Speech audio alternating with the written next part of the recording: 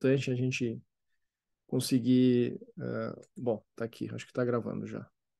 Sim, já está. Uh, bom, na verdade, eu quero só poder, antes de qualquer coisa, agradecer, agradecer o, a paciência e, e a disponibilidade do Gonzalo.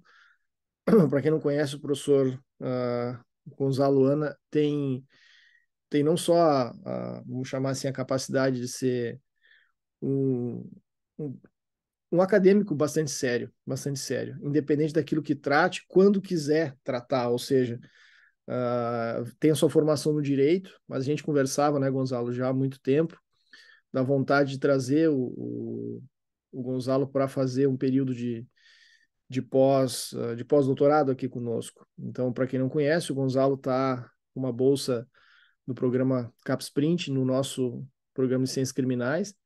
Vai ficar durante já vai ficar mais ainda um tempo, tem um ano ainda, né? Começou agora, se eu não estou enganado, né, Gonzalo, agora em, em agosto, e, e, vai, e vai nos brindar com a presença dele já a, por, por, mais, por mais pelo menos seis, sete, oito meses, né? Então já convido também aqueles que têm interesse em aproximar as suas as suas pesquisas e mesmo vontade de conversar também, conhecer uh, uh, o Gonzalo pessoalmente, a gente está sempre, sempre bastante junto lá na, lá na PUC também. E esse, esse nosso momento agora é apenas uma, vamos chamar assim, uma, um, um aperitivo daquilo que vai ser as nossas, os nossos encontros também para o futuro, né? que é um encontro de uma conferência, na verdade, uma conferência internacional, é claro, dentro do nosso programa, que eu convidei e tenho muito orgulho de ter organizado aqui junto com, com vocês. Agradeço muito né, a disponibilidade também de todas e todos. E o Gonzalo, repito, só para vocês. Uh, claro, se quiser, joga, como costumo dizer, né? Se quiser, joga, joga no Google que vai resolver o problema do currículo.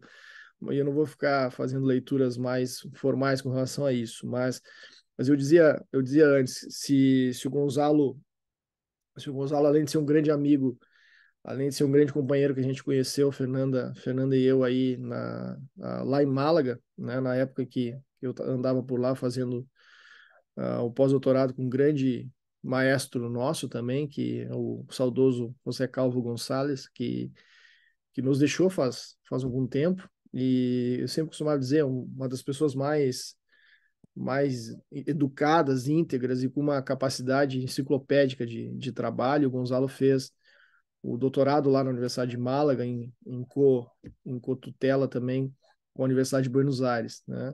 Dentro da, da área da filosofia do direito, que é, sem dúvida, uma das interfaces com que ele, com que ele trabalha já há muito tempo, né? e é por aí, de alguma maneira, que, que ele vai conversar hoje conosco, mas nunca esquecendo que esses, essa potência que tem o Gonzalo é uma potência que obviamente transborda a, o direito e que faz com que o principal foco, talvez hoje em dia, inclusive da, a, do trabalho do Gonzalo, seja a, na escrita, na escrita literária, seja na produção de literatura de peso e, e de destaque na Argentina. Então é um é um colega que eu tenho muito orgulho de, de trocar uh, experiências e, e aprender e aprender muito. Tem uma uma uma consistência e uma humildade que só os grandes, os grandes professores têm, conseguem ter. Então, fico muito feliz de poder compartilhar com o Gonzalo esses, esses momentos. Né?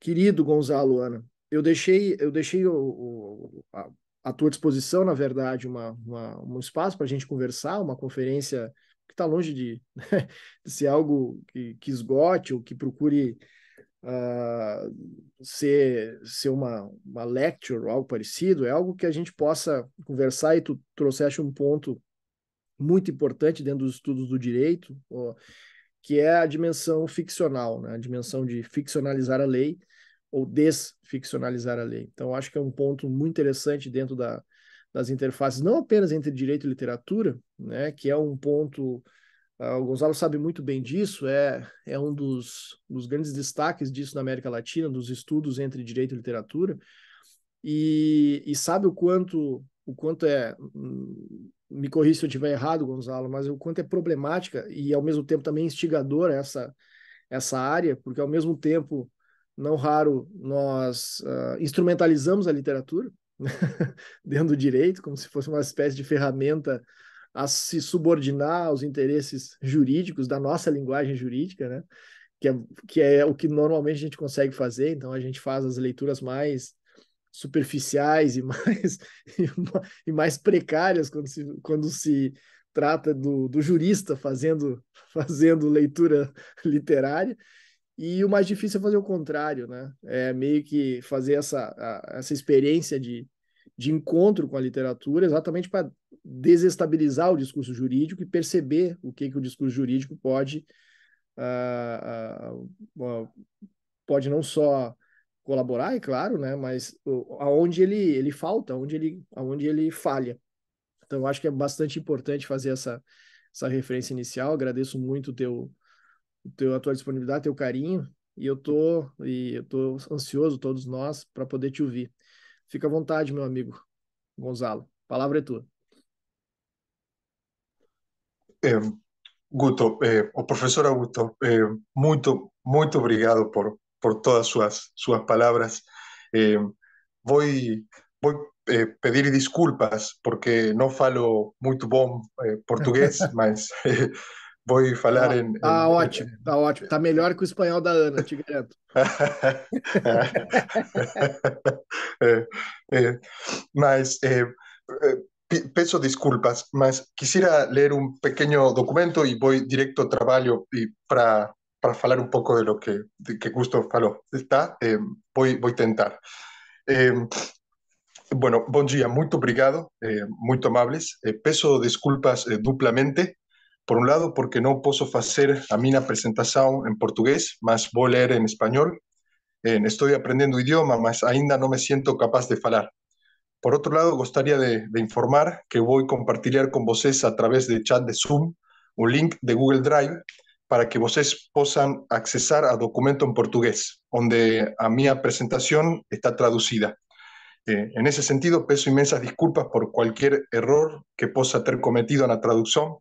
Eh, certamente existen muchos erros, eh, peço disculpas, eh, no son intencionales. Eh, só pretendía traducir o texto para que eh, para portugués, eh, achei que podría ayudar a, para fines de lectura y comunicación.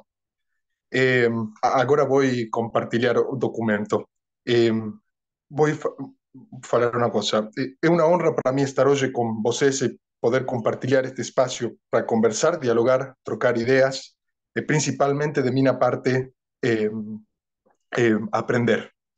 Eh, primeiramente, quero agradecer à Pontifícia Universidade Católica de Rio Grande do Sul, ao programa CAP Sprint da PUC, ao programa de pós-graduação em Ciências Criminais da PUC, al profesor Nereu José Giacomoli, coordinador del programa, al profesor Augusto Jovindo Amaral, a toda la comunidad académica de PUCI, a todas las personas que hoy tornaran posible a mi participación, pero esfuerzo y tiempo que eso implica. Me gustaría agradecer a cada uno eh, de una de voces por estar en presentes hoy. Eh, para mí es un placer poder eh, este espacio con voces, poder trocar ideas, contar en qué estoy trabajando, oír voces recibir opiniones diferentes y aprender. Eh, disculpen más, gustaría agradecer una vez más, en especial al profesor y maestro Augusto Jovindo Amaral, eh, por me abrir las puertas de la universidad y eh, permitirme trabajar aquí. Para mí una honra enorme poder compartir esta mesa con vosotros y, y, con él. desde que tímidamente me interesé y comencé, por, probablemente de forma errada, hace un tiempo atrás, los estudios de Derecho, Filosofía, Política, Literatura, fue una de mis eh, de mis referencias para basar en este camino. Eh, o su trabajo me permitió constatar que a mucho tiempo y con extrema dedicación se realizaba un enorme trabajo a nivel nacional e internacional.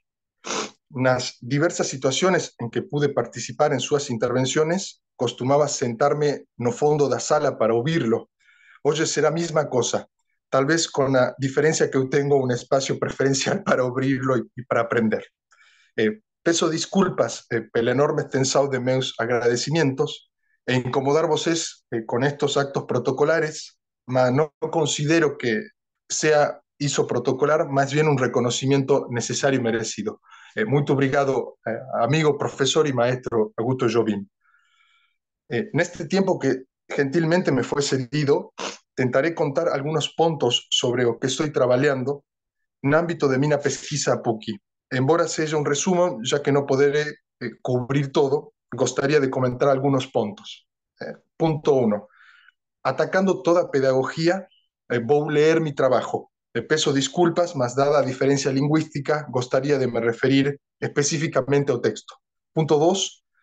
o trabajo hace parte de un trabajo mayor que se articula con otras propuestas que vengo trabajando a un tiempo. Eh, punto 3, eh, eh, el trabajo ocupa 30 minutos, peso disculpas si termino más cedo o extiendo mi participación. Si eso acontecer, vos es, profesor Augusto, me avisa sin problema si yo no falo más. disculpe. Eh, en este sentido, continúo totalmente disponible para ampliar, compartir en una próxima reunión o tecnológicamente a través de, un mail. Eh, voy a hablar sobre mi trabajo eh, intitulado Desficcionalizando a ley, notas para un estudio de derecho. este trabajo se articula en el ámbito de mi proyecto de investigación general titulado NAPUKI, Narrativas de odio en minorías sociales en las sociedades modernas, eh, estudios jurídicos literarios basados en el binomio ley-violencia. Eh, detallaré ahora la estructura del trabajo en términos generales.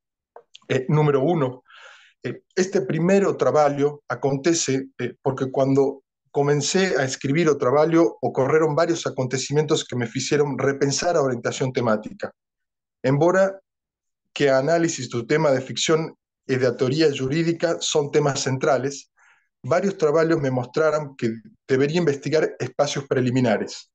A mayor descoberta de eles fue o artículo da pesquisadora brasileira María Manuela Ligeti Carneiro da Cunha, intitulado Sobre los silencios da lei, la eh, costumeira e positiva nas alforías dos escravos no Brasil do século XIX. A partir de ahí, mi primera instancia de pesquisa mudó y me propuso tentar analizar la idea de silencio en las ficciones jurídicas y literarias y su participación en construcción de discurso. Este es el primer trabajo que va a ser ahora. Segundo trabajo, si es que hay tiempo en algún momento o otra oportunidad, eh, trabajará específicamente en la idea de ficción y aquel encuentro será con Lacan, con Bentham y con autores y autoras que trabajan en la temática. A tercera instancia, propone un trabajo cuantitativo con análisis, compilación y sistematización las leyes de odio a lo largo de la historia. Aquí estoy haciendo una compilación de discursos de odio siguiendo diferentes criterios de clasificación, religiosos, políticos, raciales, entre otros, tanto en derecho como en literatura. Y cuarto y último, obra que eh, la obra se propone analizar cómo esos discursos jurídicos literarios son funcionales o no son mecanismos visibles e invisibles del monopolio de la violencia utilizado por el poder. Esta primera parte propone una especie de articulación inicial entre derecho y literatura. Propone investigar, tal vez mal, si es posible pensar el derecho a partir de un discurso externo, como a literatura. Mas dado que ya pueden existir o existen numerosos textos sobre este punto, a proposta visa analizar os silencios do discurso jurídico. se pregunta si es posible pensar la idea de silencio y su participación no discurso jurídico. Una primera abordaje para aprofundar la idea de ficción literaria, ficción jurídica y algunas notas preliminares, y después, eh, en otra obra, analizar sus puntos de contacto o su desarticulación. No sé no creo que este trabajo o si este trabajo tenga algo nuevo de contribuir. Tal vez la propuesta acima de todo sea poder dar continuidad a los estudios que ya existen en la área, reportar los trabajos sobre tema y acima de todo poder oír y aprender. Disculpen la extensión, mas es importante hablar sobre estructura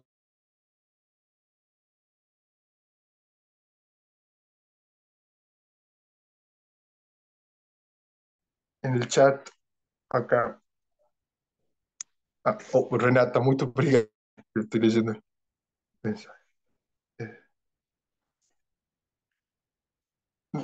no sé si ahí se puede eh, leer el trabajo, cualquier cosa.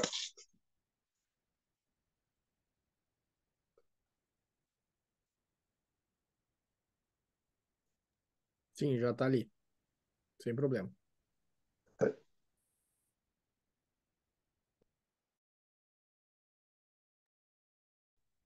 que ele tá. Acho que ele caiu. Eu acho que a minha, a minha internet acho que tá um pouco instável. Talvez. Agora voltou. Desculpe. Tá Sem problema. Eu, qualquer coisa falam porque eu tenho okay, internet. Pode deixar. Também. Tá. Foi, eu acho problema na minha internet. Não te preocupe.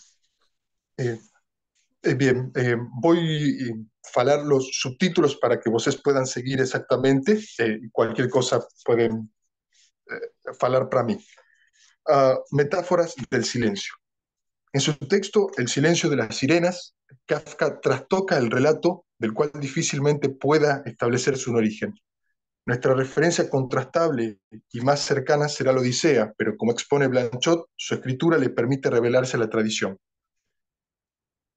expone Blanchot, lo que Kafka nos da, don que no recibimos, es una suerte de combate de la literatura por la literatura, combate cuya finalidad se nos escapa y que al mismo tiempo es familiar como extraño. El texto propone una nueva voz sublevada a lo que manifiestan las sirenas en el canto 12 de la obra de Homero, que indica, eh, Guto, disculpen que interrumpa, yo tengo congelada la pantalla, no sé si se me escucha, yo sigo hablando. Estamos escuchando, sí, sí. Sí, perdón, muchas gracias. El canto 12 de la obra de Homero que indica, Ea célebre Odiseo, gloria insignia de los aqueos, acércate y detén la nave para que oiga nuestra voz. Nadie ha pasado en su negro bajel sin que oyera la suave voz que fluye en nuestra boca, sino que se van todos después de recrearse con ella, sabiendo más que antes, pues sabemos cuántas fatigas padecieron en la vasta Troya argivos y treucos, por la voluntad de los dioses, y conocemos también todo cuento que ocurre en la tierra fértil. Luego no dirán más. Un silencio intencional, deliberado. La brevedad de sus comentarios es suficiente para que Odiseo exprese. Esto dijeron con su hermosa voz. Sintióse mi corazón con ganas de oírlas y moví las cejas, mandando a los compañeros que me desatasen. ¿Qué es lo que cantan las sirenas? ¿Cuáles son las cuestiones que despliegan y generan tamaña desesperación y enajenación en sus oyentes? ¿Dónde habita la violencia de ese canto que también asedia a Jasón o que exige a Orfeo tocar su lira para civilizar las almas de los mortales? El canto trastoca el sentido del relato, la mirada no se dirige a las claves de su formación, sino en la fuerza de sus contenidos, un orgullo que no se puede soportar, contacto con un espacio que nos arrastra a la desesperación, la locura y la muerte. Esta voz que canta sin palabras y que deja oír tan poco, ¿No es acaso la de las sirenas, de las que toda su seducción consiste en el vacío que abren, en la inmovilidad fascinante que provocan en aquellos que las escuchan? Cierro cita. Desde su carácter retórico, la fascinación que acontece no debe ser analizada quizá desde el carácter persuasivo que poseen las criaturas marinas, sino de la actividad que implica en sus receptores. Las palabras espejan, incomodan, resignifican el mundo de, de quien escucha e interpreta. Abro cita los efectos de la recitación de la sirena sobre Ulises, la irresistibilidad del canto, no se funde en la dulzura propia de la música, sino en la alianza del sonido con la esperanza auditiva más secreta del sujeto. El oído aporta por sí mismo una selectividad que espera, que persevera en el tono inequívocamente propio. Cierro cita. Atado a la nave, Odiseo es el único que escucha. Él mismo se ha encargado de tapar con pan de cera caliente los oídos a cada uno de los tripulantes. Sobresale, no quiere que nadie más participe. En su canto las sirenas se dirigen a él, lo llaman por su nombre, le ofrecen sabiduría, espacio del poder. Su cuerpo es conmovido por el lenguaje. Abro cita. En el caso de Ulises, el canto de las sirenas tiene un éxito sin reservas. Se impone el oyente, insinuándose como fuerza superior de venida musical. Cierro cita. El héroe soporta el tormento, funciona como el centro que dará sentido a todo lo que se ha dicho, como aquello que se ha silenciado, posibilidad que Blanchot propone en su texto El libro por venir. Abro cita. ¿De qué índole era el canto de las sirenas? ¿En qué consistía lo que faltaba? ¿Por qué esa misma falta lo hacía tan potente? Y dirá sobre el canto de las sirenas que es ese canto enigmático, poderoso por su misma carencia. Cierro. Escuchar a las sirenas significa escucharse. Ir hacia ellas responde a un impulso personal y no a un acontecimiento fortito. En este sentido, Kafka subvierte la observación del relato y propone, las terribles seductoras no cantaron cuando pasó Ulises, tal vez porque creyeron que aquel enemigo solo podía herirlo el silencio. Y agrega, Ulises, para expresarlo de alguna manera, no oyó el silencio, estaba convencido de que ellas cantaban y que solo él se hallaba salvo. Fugazmente vio primero las curvas de sus cuellos, la respiración profunda, los ojos llenos de lágrimas, los labios entreabiertos. Creía que todo era parte de la melodía que fluía sorda en torno a él. El canto no se piensa como sonido, sino como su ausencia. El silencio se presenta como el producto de una reflexión premeditada. La comunicación se genera en la carencia de sonidos que el receptor deberá interpretar. Sloterdijk indica, indica sobre ello. El canto sirénico no solo actúa sobre el sujeto conmoviéndolo desde afuera, resuena más bien como si se llevara a cabo a través de él, consumadamente y como por primera vez la conmoción más propia e íntima del sujeto que entonces se decide a expresarse. Las sirenas son videntes melódicas. Cierro cita. El silencio, por lo tanto, se puede presentar como una forma de comunicación. Se le otorga un papel funcional activo que suple lo que Oncina Cabes, Cobes perdón, llama la pretensión epistémica excesiva. Si el lenguaje se presenta como una limitación, el mutismo será la única forma de expresión posible. Melodías y mutismos. Voy a hacer un, salto entre algunos párrafos que voy a indicar para, para no leer la totalidad. En el canto de las sirenas, el silencio se despliega como una forma de la melodía, por lo que el recorrido teórico también acontece en el plano de la musicalidad.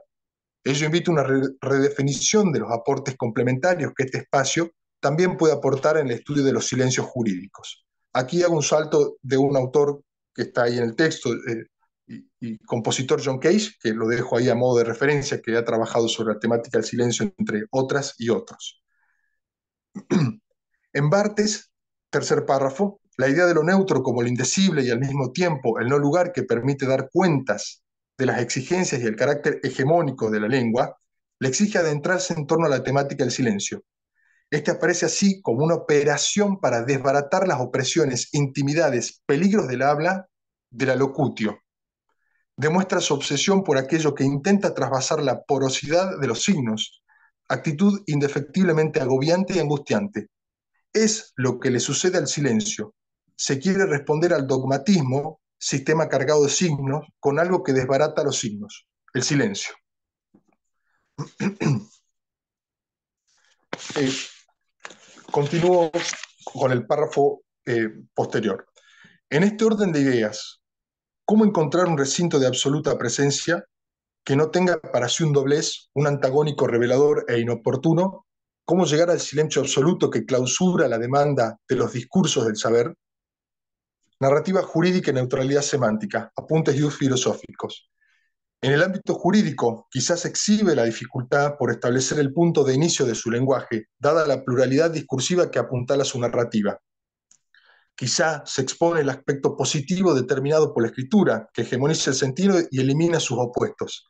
Esa que Bartes desnaturaliza y establece como función, en tanto articula variables históricas para luego desplegar una posición específica y diferenciada.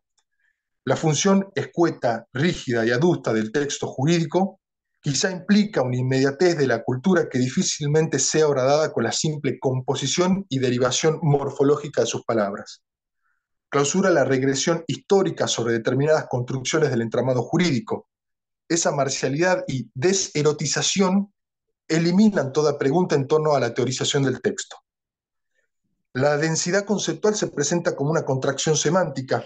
En ese corrimiento neutral nos moviliza e interroga ante tópicos como la inaccesible igualdad ante la ley, la retórica inescrutable de la miríada de normas que se presumen conocidas por todos y por todas los, las ciudadanas, ciudadanos, el caos intencionado de la burocrática estructura judicial, las relaciones jerárquicas entre el saber y el poder, perdón, entre el saber y el deber, las argumentaciones persuasivas de resoluciones que se debaten entre lo verdadero y lo verosímil, la concepción del derecho en el imaginario social, el uso indiscriminado de la violencia, la opacidad del lenguaje, el fundamento místico de la autoridad de la ley, citando a un autor, las resoluciones que imprimen e inscriben la tortura, el vínculo ficcional entre resocialización perdón, y las cárceles, las manipulaciones argumentales de las sentencias, el carácter mitológico de la cosa juzgada. Parecería ser que el derecho solo puede pensarse desde su presencia, en sus organismos visibles, pero sin embargo también se constituye de otros insumos que no se perciben en su escritura, a saber, quizá sus silencios. Continúo. En el otro párrafo, en el desarrollo y contracción del saber jurídico, determinados espacios no se han explicitado de manera intencionada.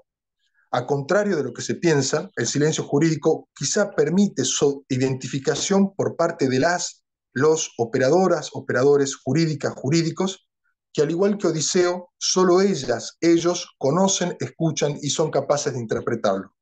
Apuntes literarios.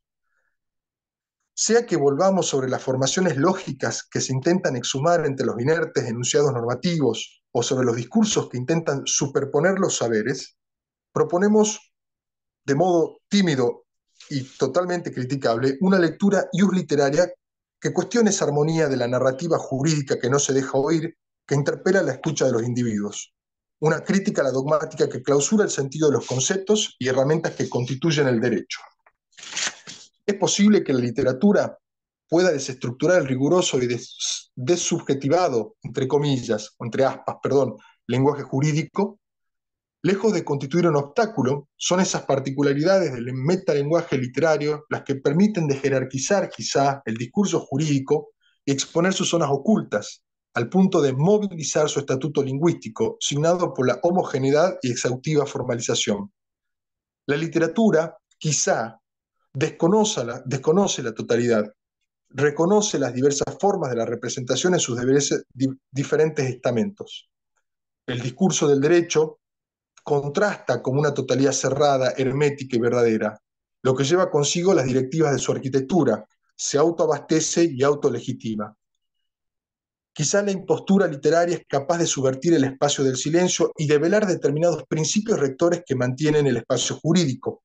Las manifestaciones tangenciales, tácitas u ocultas, quizá, perdón que reitere tanto ese, postulado, puedan ser analizadas desde lo literario, pues en su indolencia interpretativa desgarran la discursividad jurídica y desnudan las pretensiones esencialistas.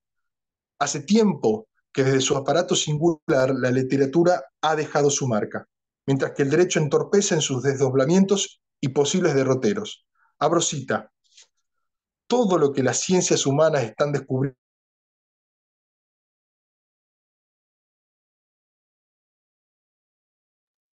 Opa, travou. Agora foi. É escrito. Agora. acho que agora foi. Vamos esperar um pouquinho. É. Perdón, Guto, ¿se me escucha? Quizá. Ahora sí, te escuchamos. Parece que estoy. Agora, agora sim, acho que tu. Só não estamos te vendo. Ainda. Espera um pouquinho.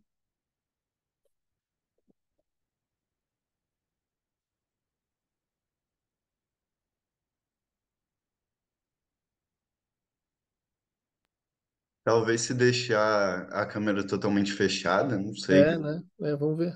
Vamos ver agora se ele tá por. Olha, ele deve ter saído e voltado. Agora acho que ele consegue. Ah, agora sim. Estamos. Perdone, disculpen. Nada, nada, nada. Tranquilo. Es, es, casi cierto que es un problema personal de conectividad. Perdón.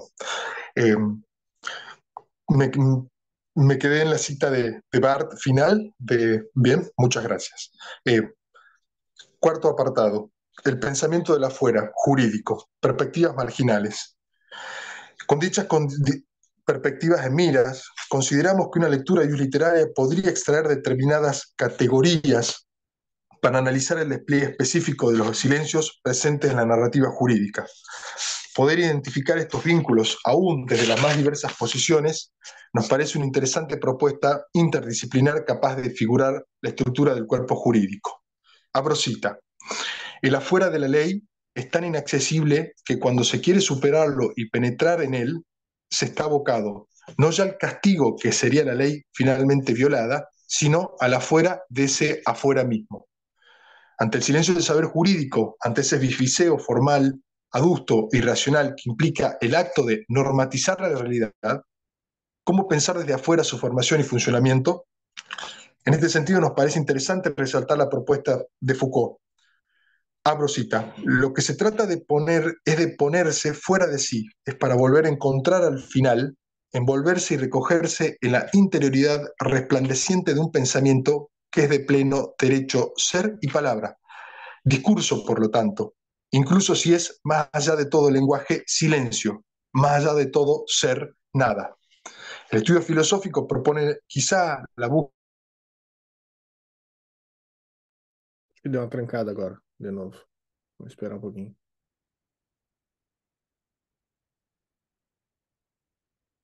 Tá trancado para vocês também? Tá, tá, né? Tá. Então, dessa vez eu acho que não fui eu. Eu tava com umas, uma instabilidade no, na internet antes, mas eu acho que agora tranquilo. Deixa eu voltar para cá. Que aí a gente espera, fica mais fácil assim para ele. Conseguiu. Eh, peço desculpas. Não, não, tranquilo. Yo continuo. Bem, eh, cuarto, cuarto apartado. Quedan unos tres y voy a tratar de, de concluir por lo menos para dar trabajo. Eh, letra y ley.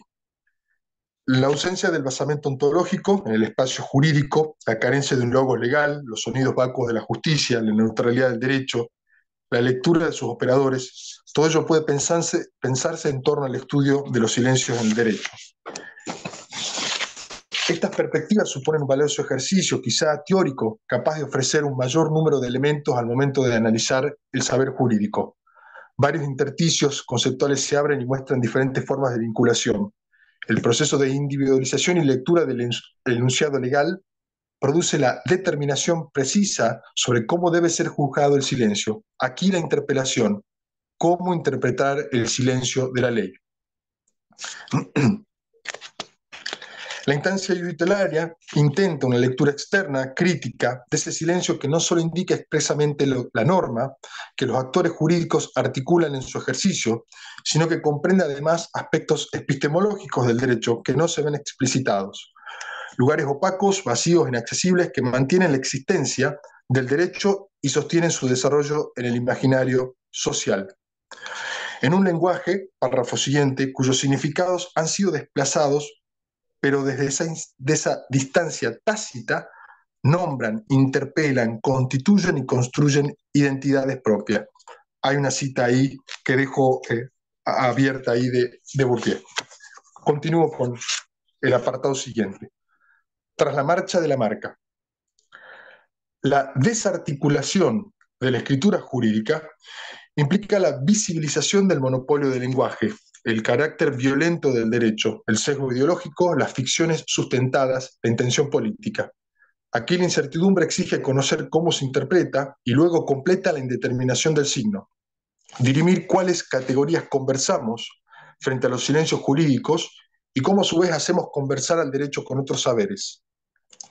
La retracción a discursos antecedentes nos conduce a un movimiento arqueológico que regresa sobre sus huellas y marcas que deja tras de sí la escritura jurídica, que por el hecho de ser texto escrito se apoya en un soporte incapaz de alterarse. El texto jurídico parece evitar esta mirada marginal desde los márgenes. No permite la escucha total y al mismo tiempo silencia las bases de, de su constitución. Exige, reclama, compensa, articula, organiza, moviliza, ordena. Mundano pierde la posibilidad de un acceso a un estadio mayor en términos ontológicos da cuentas de su realidad como producto social, lo cual lo hace, abro cita, esencialmente deconstruible, bien porque está fundado, construido sobre capas textuales interpretables y transformables, y esto es la historia del derecho, la posible y necesaria transformación, o en ocasiones la mejora del derecho, bien porque su último fundamento, por definición, no está fundado. Estética, estatuto, estructura. El examen sobre las poéticas intervinientes quizá permite su traslado sobre la estructura narrativa jurídica. Confronta y disputa su constitución y estatuto en dos niveles. Un micronivel, en tanto cita martillos, martilla perdón, sobre la materialidad del lenguaje teórico, y un macronivel, el cual opera sobre los puntos ciegos que genera el discurso absoluto. Los enunciados jurídicos eluden su retrospección, perdón, e intentan restituir rápidamente su centro vacío. Marie escribe, el proceso de formación y constitución del discurso jurídico no marcha, pues, a tontas y locas. Hay un principio de control que provee, en última instancia, la lógica de su estructura. El derecho articula la integración fragmentada de sus elementos conceptuales desde una narrativa. Una disección detallada expone espacios como ley, norma, prisión, cárcel, violencia, juez, jueza, abogado, abogada, cliente, sociedad, castigo, justicia divina, derecho arbitrario, poder policial, burocracia. Ahora bien, en un macro nivel, todos esos espacios encuentran una sistematización hermética, una historicidad que los estabiliza y presenta como un discurso que ha omitido los embates y engañifas del lenguaje, citando Barth. Entramados textuales, articulaciones inconexas, palabras puestas minuciosamente y otros instrumentos intencionalmente vedados, no solo emergen como recursos, también serán parte constitutiva de la narrativa jurídico, jurídica. Perdón. Rol paradojal donde se formalizan y reproducen las relaciones establecidas, al mismo tiempo que se trastornan y desencajan. Funciones que se presentan como condiciones habilitantes para instituir y consagrar el andamiaje jurídico. Abro cita. El discurso jurídico debe comprender y evaluarse no solo por lo que descarta de sí, sino por lo que atestigua con esa exclusión. Es evidente que esto le acuerda una atmósfera de extravagante clandestinidad. Pero los juristas saben que en límite esto es así. El discurso jurídico es en gran medida un discurso clandestino. A modo de cierre y de conclusión. Será sobre estas consideraciones antecedentes que nos interrogamos. ¿Qué motiva el silencio de la doctrina filosófica ante esta posibilidad, quizá epistemológica, metodológica o como fuere, de que la literatura piense al derecho, hable y si es que puede o quiere hablar del derecho, o que las personas quieren que la, obligan a la literatura a hablar del derecho, un rumor, un bisbiseo, un murmullo, un susurro, que existe al tiempo de pensar puentes entre los registros de lo jurídico y lo literario, ese control adusto que nos obliga a hablar en voz baja. ¿Cómo poder correr el velo ideológico que inviste al derecho sin hacerlo desde el derecho mismo? ¿Es posible pensar desde otras categorías teóricas el ámbito jurídico? Marie considera, el arte no es una ciencia, el efecto estético no es efecto de conocimiento, pero requiere de este, en tanto denuncia diferenciadora de la ideología, para conocer así la realidad imaginaria, ideológica de aquello de cuya realidad social se apropia la ciencia. La estaticidad es transgredida por la esteticidad. La literatura quizá espeja el fenómeno jurídico y en ese acto revela sus contradicciones, tensiones y silencios. Pero sin embargo, esa excedencia también es un canto carente. Quizá ese panorama desolador sea el que nos permita visibilizar los despliegues y funcionamientos del derecho, para despojarlo de sus ornamentos y restituirlo quizá a su cuerpo poético. En definitiva, como plantea eh, Barat, abro comillas, para verlo a cara limpia, sin afeites ni púdicas perfecciones, verlo en su despertar, con sus inevitables lagañas, con sus dolores viscerales, su mal humor, en sus días buenos, verlo desnudo en su realidad, sin máscaras de imágenes puras con las que antaño se jugaba el amor, ausentes, un clima quebrado, sin ritmo, lejos del secreto dorado, sin ráfagas hechiceras, falseando el misterio, vestido de pudor con rubor, todo en orden, como paraíso erótico, sin su ficción, que lo preserva y que lo disoluciona. Muchas gracias, muy amable. Obrigado, obrigado, obrigado. Muito, muito. Muito obrigado mesmo, mesmo, Gonzalo. Uh, é, é, eu sempre, eu sempre costumo, sempre sublinho, sempre, sempre quando consigo estar com o Gonzalo, a, a, a, não só a capacidade de a gente a gente perceber o quanto uh, o quanto é possível fazer coisas interessantes ainda né? dentro do direito. como é possível, como é possível. E, e, e para além dele, evidentemente. Isso é muito, muito, muito interessante, muito interessante mesmo. Te agradeço demais pelo cuidado, pelo carinho, Gonzalo, e um texto e uma lição, na verdade, espetacular, né? Que é muito daquilo que tu vem, vem trabalhando já, já há algum tempo e, e espero que a gente consiga uh, trocar bastante uh, bastante elementos agora nesse nessa tua estada por aqui e aprender, na verdade, eu aprender bastante também uh, com essas com essas provocações. Eu fico muito feliz, muito feliz mesmo de poder uh, poder te receber e a gente continuar esse nosso esse nosso diálogo, né? Eu vou eu vou tentar colocar algumas algumas questões, Gonzalo, para se tu quiseres comentar, para gente para gente dialogar e, e também o pessoal ficar à vontade, se quiser fazer alguma colocação, por favor, fiquem, fiquem à vontade. O texto eu já não falei para o Gonzalo isso, mas o texto certamente vamos vamos publicar, vamos publicar, em, me manda o texto uh, em espanhol mesmo, não há problema nenhum. Acho fabulosa também a oportunidade de, de, de ouvir também como tu fez a, a tua conferência no espanhol, muito sem problema nenhum. Me manda e a gente consegue torná-la mais pública ainda mais divulgada e para que as uh, para que não só nós da, da do direito da, da, filosofia mesmo da teoria literária consigam consigam trabalhar em cima né e discutir bastante também em torno disso né Bom, eu, uh, na verdade, eu, eu, eu lembraria uh, algumas questões em comum, né, que é que são aquelas que de alguma maneira me implicam também no, no trabalho extremamente familiar que o Gonzalo faz, então me sinto muito muito confortável em, em ouvi-lo, né, e, e, feliz, né. Uh, a literatura, de alguma forma, é muito difícil é, dizê-la, né, no sentido de uma de um, de um artigo definido a, né, ou de uma espécie de ontologia, né, que esquecer o que que que é isso, né? Ela não ela não se presta a isso, né? Por uma penso eu por uma razão muito simples que o Gonzalo ah, muito bem explorou, né? Ela a, a literatura de alguma maneira ela convoca, né? Ela chama, ela chama antes uh, a uma demanda que a atravessa. Né? É uma espécie de uh, ela não é uma espécie de interdito, porque isso o direito faz, é uma espécie de entredito. Então é bem é bem interessante a gente perceber o quanto a literatura é uma espécie de demanda do outro. É uma, ela, ela responde a uma convocação, é uma demanda é uma demanda do outro, né?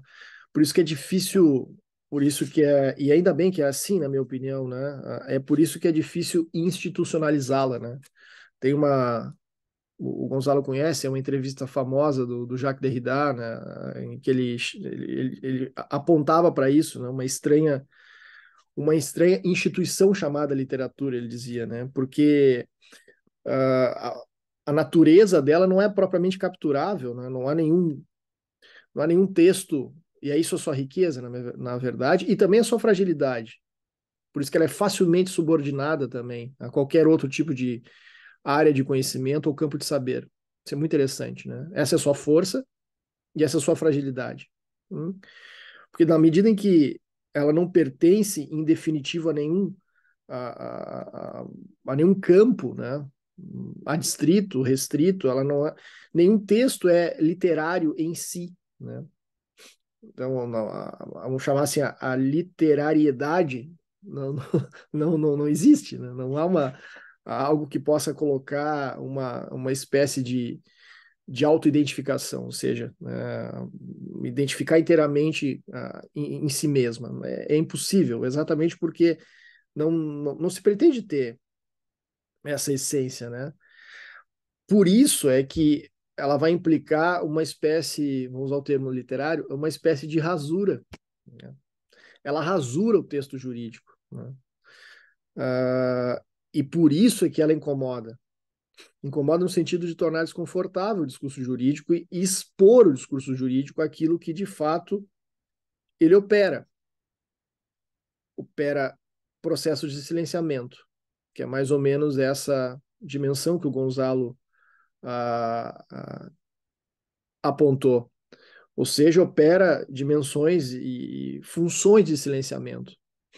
Então, talvez essa seja a principal pergunta, na minha opinião. De fato, o Gonzalo é, é genial nisso, já há muito tempo, né?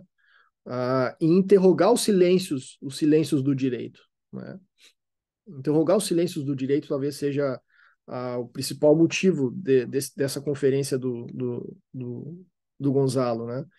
É, portanto, uh, esse discurso, esse, esse traço, vou usar o termo do, do, do Derrida, né? esse traço distintivo do discurso, uh, esse traço diferencial, melhor dizendo, né? esse traço diferencial da, da, do pensamento literário da, ou do discurso literário, é o que o torna é o que torna ele extremamente potente, na minha opinião, por um lado, claro, como eu falava antes, mas também bastante é, bastante exposto à sua a uma espécie de fragilidade, né?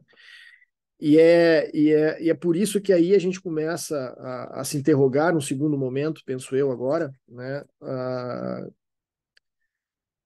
como é que a gente conseguiria, a pergunta que eu me faço, né? Como é que a gente conseguiria uh, encenar, né? já que estamos trabalhando com ficções, né? com cenas, né? como é que a gente pode encenar esse poder, esse poder literário, né? Uh, essa configuração de um poder literário. A, a, pista que me faz pensar através da tua, a pista que o teu texto me faz pensar é exatamente um, um, essa dimensão de uma aporia, né? Ou seja, uh, é ao mesmo tempo um poder um poder de dizer aquilo que não é dito, né? uma espécie de despoder, se é que pode se dizer isso, né? é um, uma espécie de contrapoder, né? ou seja, poder de, de dizer aquilo que, uh, que não é dito, ou seja, aquilo que é silenciado, e, e ao mesmo tempo no sentido de um, de um comprometimento, uh, por outro lado, né, uh, vai fazer com que, por exemplo, em termos de pensar os regimes, vamos chamar assim, jurídicos, uh, exponha, exponha exatamente essa uh, o que há, uh, usar os termos do Walter Benjamin, né, o que há, o que há, o que há de podre no direito, né? Ou seja, ao mesmo tempo em que permite acessar ou pensar, vamos chamar assim, aquilo que é clandestino, para usar o teu termo que tu fez referência agora, né? Pensar aquilo que tá, eh, que é clandestino ao, ao, ao direito, vamos chamar assim, expõe uma espécie de compromisso político mesmo, no sentido estrito, porque opera uma espécie de reinvenção real mesmo da linguagem. Né? Isso é bem interessante porque é diferente de. de uh, não sei o que o, o, o, Gonzalo acha, mas é, é, um pouco diferente essa, essa abordagem. É uma abordagem que, obviamente, o Gonzalo reconhece, uma leitura uh, derridiana, vamos chamar assim, uma leitura do Jacques Derrida sobre isso, né? Uh, me parece muito importante porque me parece o verdadeiro. Uh, eu não diria nem o poder, mas uma espécie de, de, de, de dádiva, para usar o termo Derrida, ou seja, é uma espécie de potência máxima e de fragilidade máxima ao mesmo tempo. Porque, veja, ela é, ela é impossível de se colocar como um discurso fixo, um campo de saber, uma instituição, por assim dizer, mas é exatamente isso que, é, que permite ela ir para além, atravessar essa, essas ontologias, inclusive do mundo jurídico. Então é por isso que ela vai ser sempre um, uma espécie de, de, convidado estranho, ou convidada estranha, né? Essa, a, a, essa literatura. Que é bem diferente de, um, de uma espécie de engajamento, uh, de engajamento político estrito, ou de instrumentalização dela, que é o que normalmente a gente consegue fazer no máximo, na minha opinião, dentro do direito, sabe?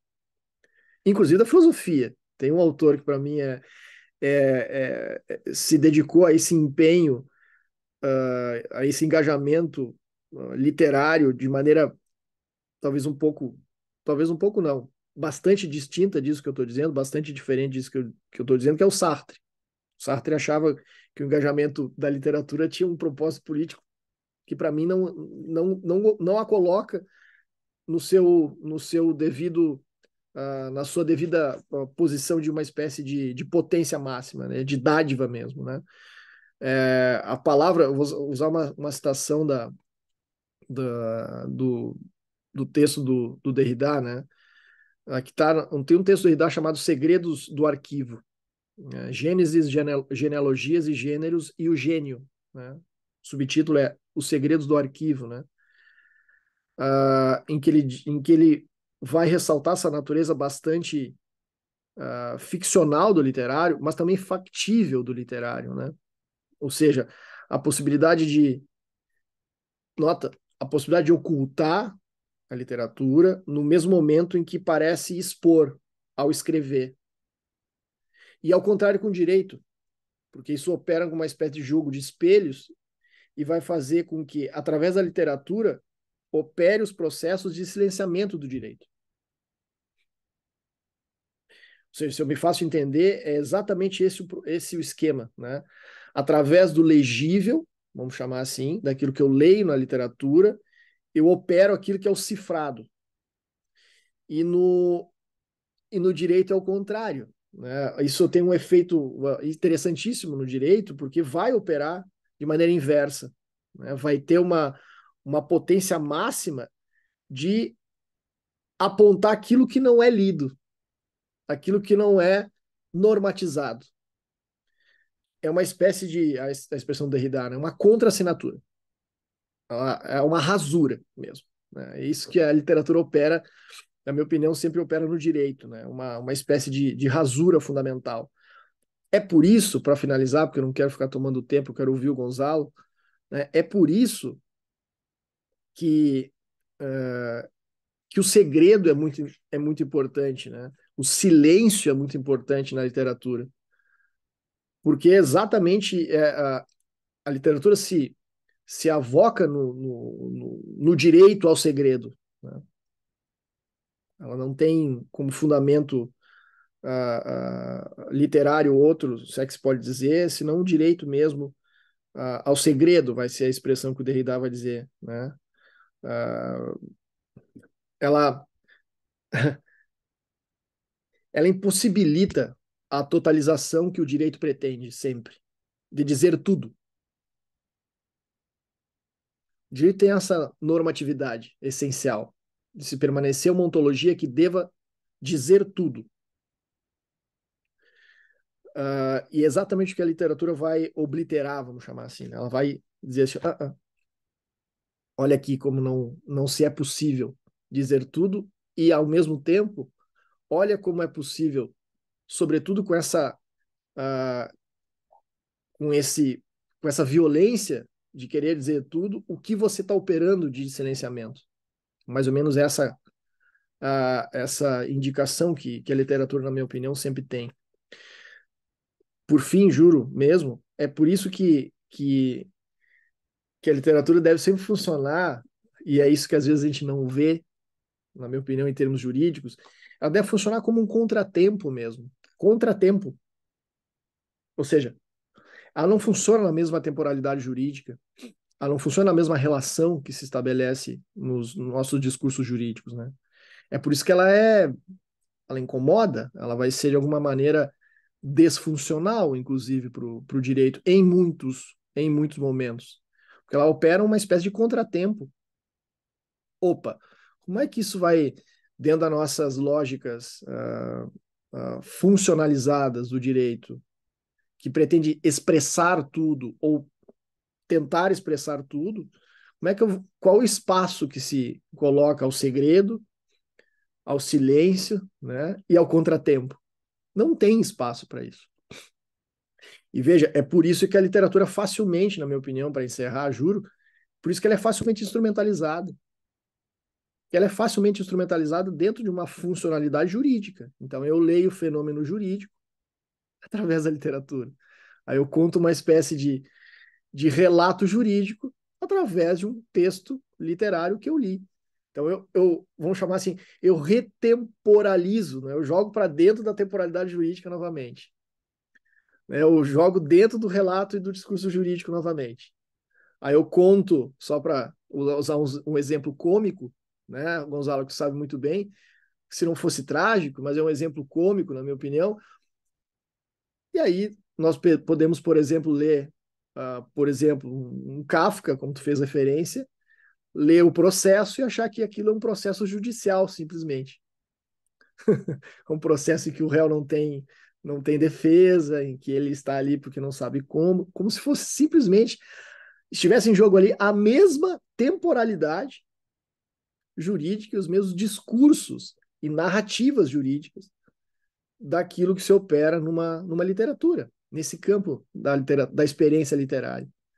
Então, me parece que é muito isso, sabe? É a sua potência, repito, de um lado, desestabilizadora do discurso jurídico, que vai demonstrar como opera os silenciamentos, e por outro, a sua fragilidade né, máxima, a sua potência e a sua fragilidade máxima, porque ela é facilmente, devido a essa riqueza toda, facilmente internalizada, capturada como um, uma espécie de dilantismo, né, erudição, ou quem sabe um simples colorido uh, de, um, de, um, de um discurso jurídico. E é exatamente sobre isso que tu sempre falou, na minha opinião, pelo menos é sempre assim que eu te escutei, né? E te agradeço muito ter podido, com, com toda essa todo esse cuidado, essa excelência que o teu, teu trabalho sempre teve, de poder ter exposto um pouco. Eu queria te ouvir também um pouco mais sobre o que tu pode, pode dizer a respeito disso um pouquinho. Muito obrigado, professor Gonzalo, Ana Dobratnich. É, muito obrigado, Guto, muito, muito gentil. É, é, muito, muito. Sí, contesta, sí, contesta español. Sí, sí, sí. muchas, muchas gracias.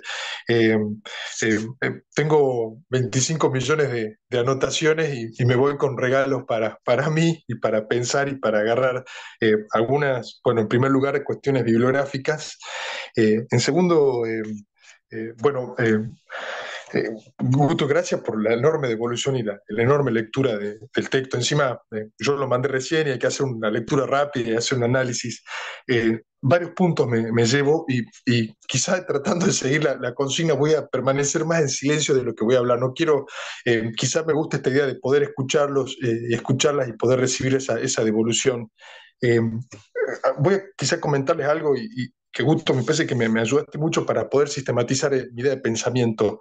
Eh, hay algo que me está sucediendo, y no voy a, esto, voy a extenderme mucho, pero es que eh, ¿por qué la literatura? ¿no? ¿Por qué quizá en esta primera intervención o venir del espacio del derecho, ¿por qué hago que la literatura se, entrometa en el espacio del derecho? La literatura no tiene intenciones de sí, ¿por qué la obligo a ese juego de opinar del derecho para poder hablar, en este caso, de los silencios y poder hacer hablar de cualquier cosa? Eh, creo, Gusto, ahí que vos citabas a Kafka y el proceso y la, las posibilidades de hacerlo hablar, en las cuales me incluyo, ¿no? He escrito trabajo que decía cualquier cosa o cosas que muchas veces eh, no estaban ni acá, la discusión entre la figura del autor, el productor, el narrador, el lector, etcétera, etcétera, etcétera. Eh, entonces, a ese eh, acercamiento inicial que tenía de decir, bueno, la literatura puede aportar al derecho, me encuentro en estas instancias diciendo, la literatura tiene que aportar al derecho, tiene que hacer esta, esta, esta mirada o obtener algún tipo de propuesta. Me parece muy interesante la, perspectiva que, que, que, planteas de llevarlo al, terreno del lenguaje, quizá que comparte también con esta idea, con la, idea de ficción, ¿no? Y la palabra que usas ahí, que es una cuestión política. No sé si exactamente, Gusto, por favor, después corregime, pero la, idea ¿no? de, la, de la política y la política del lenguaje, que comparto necesariamente que va por ese, por ese, por ese lado. Eh, entonces, eh, me sirve eh, a modo de, sistematización, de sistematización la, idea de, pensar o, de tener algunas ideas, como decías, ¿no? Esto de, de por acá lo tengo, esta idea de, trazo, esta idea de, rasura, eh, esta idea de si se puede institucionalizar la literatura o no, de qué manera, eh, por qué, por cuál tipo de, de, perdón, justo me llegó un mensaje, ahora lo, qué tipos de, literatura se leen. Alguien en un tipo, en otra instancia, lo comparto simplemente y con esto me quedo y, escucho, me dijo, bueno, pero hay también literatura que ha sido, eh, ¿cómo decirlo?, eh, eh, alineada a perspectivas totalmente contrarias a, a, pensamientos democráticos, ¿no? Y ahí se me instaló una duda bastante interesante para pensar, decir, bueno, claro, si vos lees literatura en contra de perspectivas y acá gusto, y sé que muchas personas trabajan mucho mejor que yo el tema de fascismo totalitario, totalitarismo, perdón, ¿no? Eh, ¿Cómo yo puedo, claramente agarro literatura que me, que me sirve, entre comillas, ¿no? Entonces, cómo poder elegir y no, y cómo tomar y cómo leer. Entonces ahí también me parece que con el sumo cuidado, y Cuto, agradezco toda esta evolución para poder considerar la literatura, que eso ya implica un acto, no sé si llamarlo de institucionalización, pero por lo menos de, de, limitarla también, ¿no? Y no sé si la literatura quiere eso, no sé, me parece una, una discusión a lo largo.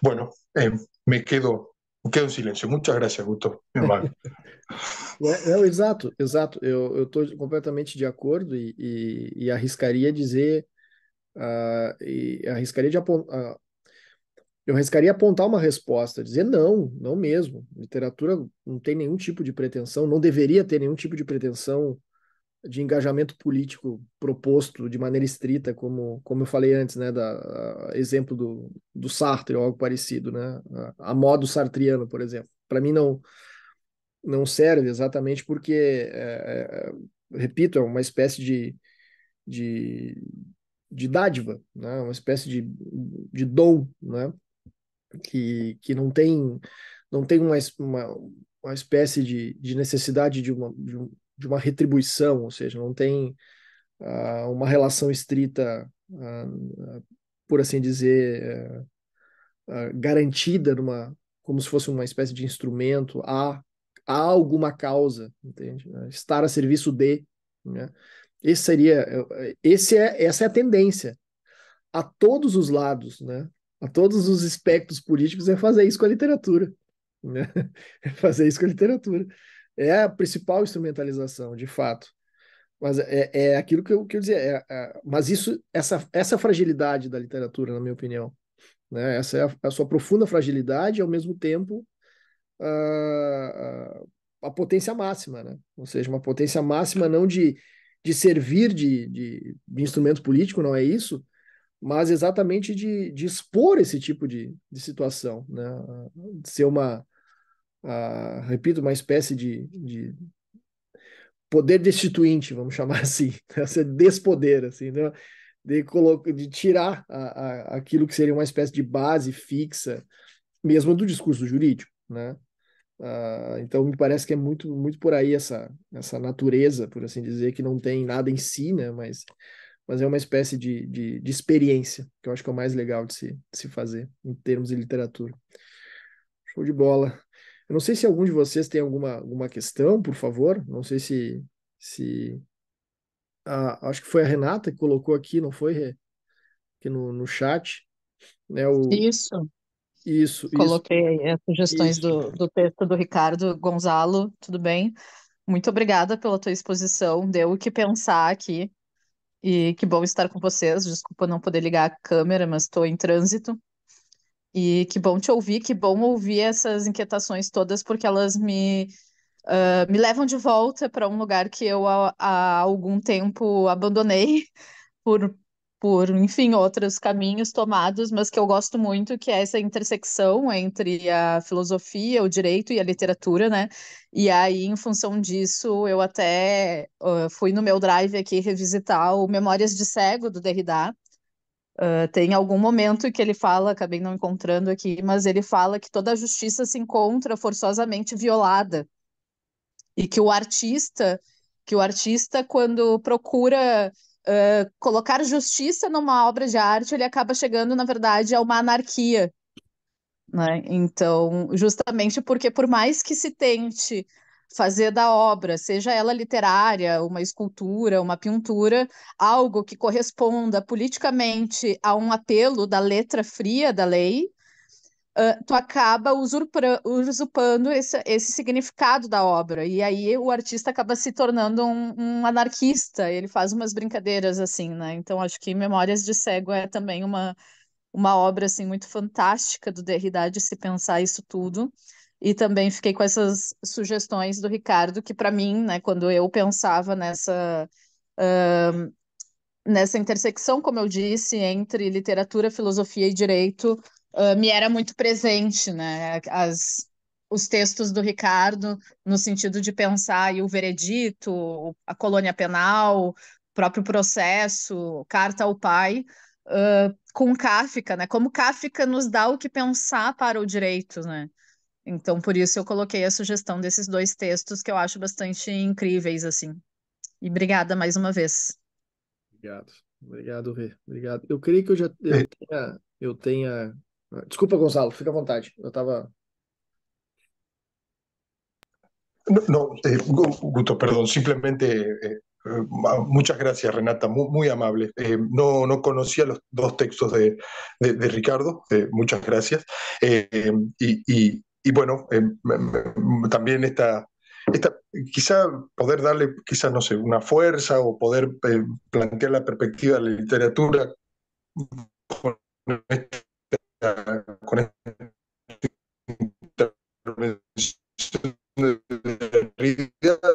también recuerdo é algún texto también de, de, Heidegger que propõe sobre intervenção. Tá só, ah, é, deu uma falhada um pouco, Gonzalo, agora na tua, na tua última uh, fala, agora deu uma, um ruído no, no, no, no, áudio. Não sei, eu acho que ele deve estar. Tá... É, exato, exato, falhou um pouquinho. Mas daqui a pouco eu acho que ele ele volta. O texto que, para as colegas e os colegas que estão estão na, na, na sala, o texto que a Renata falou é esse aqui, né? Esse aqui, é o Memórias, Memórias de Cego. Esse é o livro do Derrida. Na verdade, esse, esse aqui é do Gustavo. Nunca mais voltou para casa dele. Ah, tá. Aqui, ó, Gustavo Pereira. Sério? É, O, o meu é uma cópia do dele. O meu é um furto dele. É o objeto É do crime. É É, o um clone. furto dele. É, não, mas esse é o texto. O, o pensar em não ver também é, é, também me Pensar parece a, a, ex- a exposição mais alargada, inclusive, que essa aqui, que é a Memórias de Cego, Uhum. é muito na, nessa pegada. Eu vou, eu vou ver se eu consigo, eu vou falar com o Ricardo, ver se eu consigo. ah, eu já comentei pra, da, da, da vinda, obviamente, do, do, do Gonzalo para para PUC, eu quero ver se eu consigo, pelo menos, levar o texto do, do, do Ricardo a ele, para esse, pelo menos, esse da esse sobre Kafka, mas tem o Patologias do Tempo também, que eu acho que seria interessante falar. São, os dois são, né? É Metamorfose e Extinção, Patologias do Tempo, que é, é a Kafka Adorno e e Kafka Adorno. também, né? É, eu vou Isso, tentar, é. vou tentar passar para eles esse, esse material, e aí vai, vai ser bacana. Não sei se ele está vindo aí de volta, aí a gente já encerra. Deixa eu só ver se ele deve estar chegando. Eu até vou ver se eu não consigo. Depois eu envio para ele aqui. Vamos ver se ele se ele está pelo zap. Vamos ver se ele está por aqui. Já. Não? Não entrou? Vamos ver se ele. Vou ver se eu falo com ele pelo. Vamos ver se ele.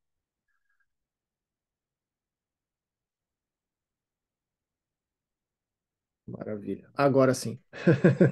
Não te preocupa, não te preocupa. Eu estava eu tava conversando com o pessoal agora na, na- que eu ia, eu vou te passar os, os textos do, do Ricardo, né?